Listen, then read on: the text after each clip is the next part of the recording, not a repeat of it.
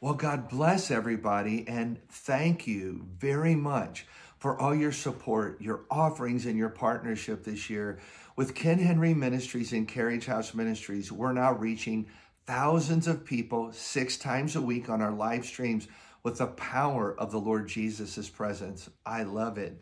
So, this is about year end giving. People that have discretionary funds will give at the end of the year. You can go to our website and there's a place to donate there. If you just consider it and pray about it, I know this that when people give of their substance, you're releasing the power of his promises and his covenant toward us. So, again, thank you again for everything you've done this year.